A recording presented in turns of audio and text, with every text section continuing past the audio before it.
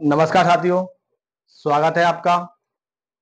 Uttar Pradesh police भर्ती री exam 2024 बहुत से बच्चे हैं जो इंतज़ार कर रहे हैं कि आपकी परीक्षा की तारीख बिल्कुल नज़दीक आ रही है। बहुत से बच्चों के मन में घबराहट हो रहा है। अक्सर हमारे पास कमेंट भी कर रहे हैं कि अंतिम समय में मुझे क्या करना होगा। तो आप लोगों के लिए सबसे ज़्यादा ज़रूरी है कि आप अपनी तैयारी कर रहे हैं। आप तैयारी में अपने लगे रहिए। और साथ साथ में आप मॉक टेस्ट भी देते रहिए कि आपको जिससे समझ में आएगा कि आपके नंबर किस प्रकार से आ रहे हैं। लेकिन इस बीच मैं आपके कम से कम एक से दो प्रश्न की गारंटी है, जो मैं आप, आज का ये टॉपिक है, जो मैं आपको बताने जा रहा हूँ, जितने बच्चे हैं, जो अक्सर इस वीडियो को देख लें। क्योंकि देखो, आपको सिर्फ़, आपके लिए वीडियो सिर्फ़ तीन से चार मिनट का है, और इस वीडियो में आपको अगर उत्तर प्रदेश पुलिस में जीएस के लिए, अगर आपको एक से दो नंबर अगर आपको पक्का करना है तो ये वीडियो आप लोगों के लिए इंपोर्टेंट होने वाला है। समझ लीजिए विस्तार से कि इसमें कौन कौन से आप लोगों ने अगर परीक्षा दी होगी, जब आपकी फरवरी में परीक्षा हुई थी, तब आप लोगों ने भी देखा होगा कि जिस टॉपिक से मैं बात कर रहा हूँ, उस टॉपिक पर 102 प्रश्न आए थे। तो आपको 102 प्रश्न है, आपको सिर्फ़ वीडियो में समझ लोगे। तो इससे आपका ये होगा, बहुत से बच्चे ऐसे होते हैं जो जीके पढ़ते हैं, जीएस पढ़ते हैं वो पढ़ने के बाद वो भूल जाते हैं। अगर आप वो वीडियो देखोगे, तब आपको याद रहेगा कि आपके परीक्षा सेंटर में जब हॉल में बैठोगे तो आपको समझ में आएगा कि हाँ जब मैंने ये वाला क्लास देखा था, अभी करंट में देखा था, जिसमें मुख्य हेल्पलाइन नंबर बताए गए थे। तो समझ लीजिए, और आपकी परीक्षा है एडमिट कार्ड आपके बहुत जल्द आने वाले हैं एग्ज़ाम सीट से संबंधित आप लोगों को जानकारी लगी चुकी होगी। तो देखो पहले, आपके जो मुख्य हेल्पलाइन नंबर है, वो समझ लीजिए, उत्तर प्रदेश हेल्पलाइन नंबर जो भी आपकी परीक्षा में हंड्रेड परसेंट प्रश्न आने की गारंटी है।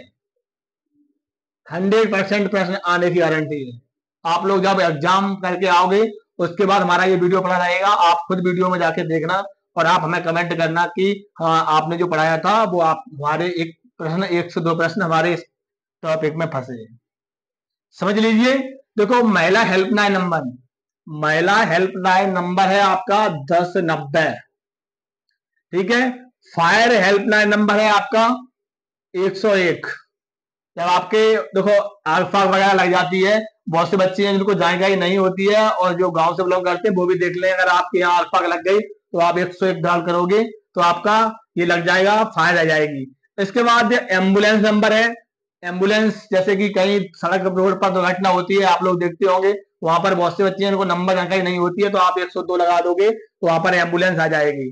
जैसे कहीं लड़ाई झगड़ा वगैरह कुछ होता है तो वहाँ बहुत से बच्चे होते हैं, पुलिस को फ़ोन लगा कहते हैं, कैसे फ़ोन लगाऊँ, क्या करूँ तो उसके लिए नंबर डायल दिया गया है, एक सौ बारह पर आप डायरेक्ट कॉल करोगे, आपके पास पुलिस तुरंत पहुँच जाएगी।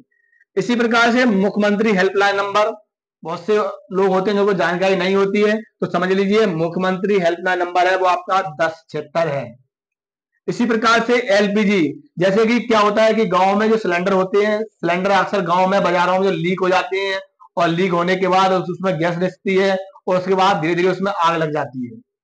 आग लग जाती है तो इससे क्या होता है कि बहुत से बच्चे लोग हैं जो बुझा नहीं पाते हैं, और बहुत से ऐसे होते हैं जो आजकल टेक्निकल चल रहा है कि देखते देखते वीडियो की आग बुझा लेते हैं।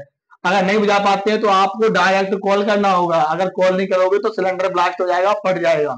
आप कॉल करोगे एलपीजी लीक वाला 1906 नंबर है 1906 नंबर है, आप कॉल करोगे, तुरंत आपको राहत एवं सहायता मिलेगी। इसके बाद जब आपकी आपदा आती है, जैसे बाढ़ आती है, इस प्रकार से आपदा आती है, बाढ़ आती है और बिजली वगैरह आ गिरती है तो ऐसी सिचुएशन में बहुत से लोग होते हैं, कहते हैं, क्या करें? आप कहाँ से मदद मांगे? क्या करें? और हम कैसे इस आपदा से बचें? तो उसके लिए आपको नंबर एक दिया गया है, दस सत्तर नंबर दिया गया है। अगर आप इस पर संपर्क करोगे तो आपको आपदा से तुरंत राहत एवं सहायता मिलेगी। इसी प्रकार से किसान कॉल सेंटर। किसान कॉल सेंटर है जो बहुत से किसान मित्र हैं और और जो कॉल सेंटर में हम उनको जानकारी नहीं लगती है कि हम किस प्रकार से हमको जानकारी मिले, उसके लिए पंद्रह इक्यावन नंबर है, आप डायरेक्ट कॉल करोगे, आपको सहायता पूरी मिलेगी। इसके बाद एक कोविड नाइन्टीन अभी आपका चला था। कोविड नाइन्टीन से जो पीड़ित को व्यक्ति है, उसको लक्षण लग रहा है कि हमें कोविड नाइन्टीन के लक्षण है तो आप डायरेक्ट कॉल करोगे दस चौहत्तर पर तो आपको तुरंत कोविड नाइन्टीन से आप राहत मिलेगी। इसी प्रकार से बाल सहायता, जैसे क्या होता है, बाल सहायता मतलब समझ लीजिए, इससे संबंधित आपके एक प्रश्न, एक सौ दो प्रश्न हंड्रेड परसेंट आते हैं। समझ लीजिए, बाल सहायता मतलब जैसे कि छोटे बच्चे हैं, इन पर वर्क कराया जा रहा है, बहुत से छोटे बच्चों पर भीख मंगवाई जा रही है तो इसके छुटकारा एवं राहत के लिए बहुत से ऐसे लोग होते हैं जो डरते हैं कि हम कैसे इसको छुटकारा लगाए। आपकी जो आप जब कॉल करोगे तो आपकी गोपनीयता रखी जाएगी और आपको जो दस दस अंठानवे कॉल करोगे तो आपको बाल राहत से आपको छुटकारा मिल जाएगा। तो ये आपके लिए इंपोर्टेंट टॉपिक है।